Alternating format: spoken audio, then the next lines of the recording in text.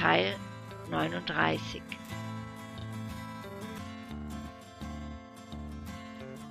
Brixton Underground Dienstag 22.20 Uhr Carlo wartete an den Drehkreuzen der U-Bahn-Station. Eine kleine Nachtmusik dudelte aus den Lautsprechern. Das passte wie die Faust aufs Auge. Er hatte das Gefühl, dass alle ihn neugierig taxierten. Ein Dealer hatte ihn schon am Eingang angebaggert. Er hatte den Kerl unmissverständlich abblitzen lassen. Von rechts arbeitete sich schon wieder eine zwielichtige Gestalt heran. Diesmal langsam, aber zielstrebig. Das nervte. Es wurde Zeit, dass Chrissy hier auftauchte. Er kontrollierte zigmal das Display seines Handys. Nichts. Niente. Rien. Ein Mädchen in einem dunklen, viel zu großen Kapuzen-Sweatshirt stolperte die Rolltreppe hoch. Sie rannte auf das Drehkreuz zu, an dem er wartete. Ihre Kapuze war tief in die Stirn gezogen und verbarg ihre Gesichtszüge. Carlo, wir haben gerade eine SMS von Raymond gekriegt. Er ist am Valencia Place und braucht Hilfe, rief sie atemlos. Chrissy? Madison? fragte er und musterte die Gestalt hinter Chrissy. Das musste Chrissys Freundin sein. Er kannte sie flüchtig. Allerdings trug sie mitten im Sommer eine beige Wollmütze. Ihr markantes rotes Haar hatte sie unter dem Monstrum verborgen. Carlo, stell keine Fragen, dazu haben wir keine Zeit, begrüßte ihn Madison hektisch und drückte ihm einen aufgefalteten Stadtplan in die Hand. Es geht um Raymond, er braucht Hilfe. Er ist am Valencia Place. Hier, schau, ich hab die Straße gefunden, sie ist ganz in der Nähe. Madison tippte fahrig mit dem Zeigefinger auf eine kleine Seitenstraße der Cold Harbor Lane. Direkt an den Gleisen, das ist wirklich nicht weit. Carlo prägte sich den Weg ein.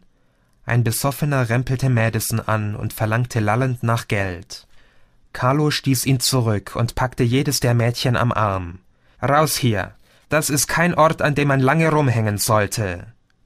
Im Laufschritt stoben sie aus der Station. Wisst ihr, was oder wer uns im Valencia Place erwartet? Ich möchte nur vorbereitet sein. Wir sind hier nicht gerade in einem idyllischen Schweizer Bergdorf, keuchte Carlo, als sie in die Cold Harbor Lane bogen. Die Straße wirkte nicht sonderlich einladend. Chrissy blieb kurz stehen und holte Atem. Sie schaute ihn unsicher an.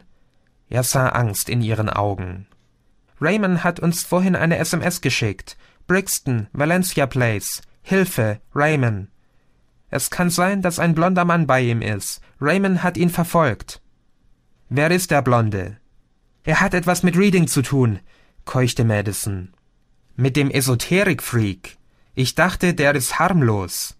Wir auch, jammerte Chrissy. Tönt nüt gut, stöhnte Carlo und rannte weiter.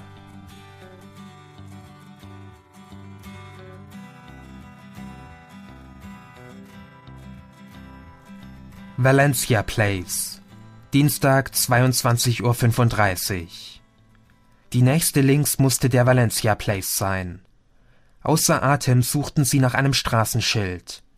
Chrissys Augen huschten über die schmuddelige Betonwand. Zerfetzte Plakate klebten in Schichten übereinander. Carlo sah das Schild. Wir sind richtig. Chrissys Puls flatterte. Sie starrten in die dunkle Straße. Carlo fluchte leise. Nur eine weit entfernte Straßenlaterne brannte noch. Man konnte nur Schemen erkennen. Herr Gerber, warten Sie einen Moment, befahl eine männliche Stimme hinter ihnen. Sie fuhren herum. Zwei Typen rannten auf sie zu. Bleiben Sie stehen, das ist eventuell eine Falle. Nein, stieß Chrissy hervor, drehte sich um und spurtete in die Dunkelheit. Chrissy! brüllte Carlo. Alle rannten hinterher. Einer der Männer knipste im Laufen seine Taschenlampe an. Der Lichtkegel hüpfte gespenstisch auf und ab und erleuchtete die Straße in rhythmischen Wellen. Unter der Eisenbahnbrücke lagen zwei Menschen auf der Straße. Chrissy sprintete. Die schmalere Gestalt war Raymond. Er lag auf dem Rücken, seine Augen waren geschlossen. Einen qualvollen Augenblick lang dachte sie, er wäre tot. Zitternd kniete sie sich neben ihn und legte ihre Hand auf seine Herzgegend. Sie spürte, wie der Brustkorb sich sachte hob und wieder senkte.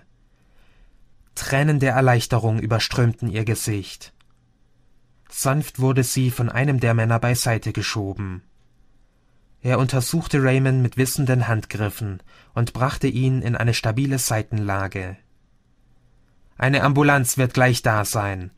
Der Junge schwebt nicht in Lebensgefahr, beruhigte sie der Mann. Chrissy schniefte, wischte sich die Tränen aus dem Gesicht und stand auf. Madison legte den Arm um sie. Carlo schaute fragend zu ihnen herüber. Er hatte das Gefühl, im falschen Film zu sein. Allen schien klar, was hier abging, nur er hatte keinen blassen Schimmer. Der andere Mann hatte sich zwischenzeitlich um den Blonden gekümmert.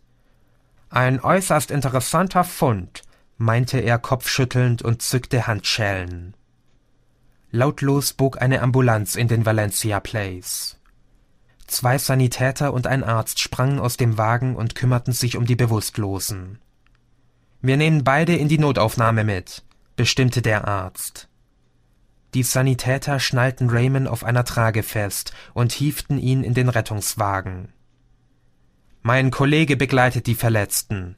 Aus Sicherheitsgründen. Wir folgen in meinem Auto. Chrissy, keine Angst, wenn du willst, kannst du bei Raymond mitfahren, versicherte der Mann mit kantiger Stimme. Mein Name ist Lloyd Winwood und mein Kollege heißt Jonathan Barry. Chrissy lief es eiskalt den Rücken hinunter. Woher kannte Winwood ihren Namen? Ich fahre bei Raymond mit, nahm Madison die Sache in die Hand und kletterte schnell in die Ambulanz.